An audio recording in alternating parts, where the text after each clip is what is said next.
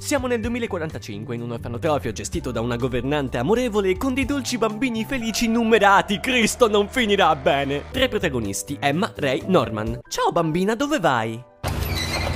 Ciao monetizzazione, dove vai? Ok, che sta succedendo? In pratica l'orfanotrofio è un campo di allevamento, la merce sono il cervello dei bambini e gli acquirenti dei demoni che si sospetta governino il mondo.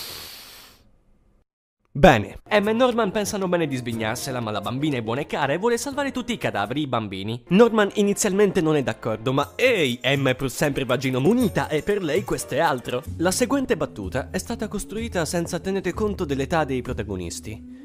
Quindi sì, è una battuta di me. Si aggiunge anche lei al piano di fuga che si scopre essere già a conoscenza dei fatti. Perché?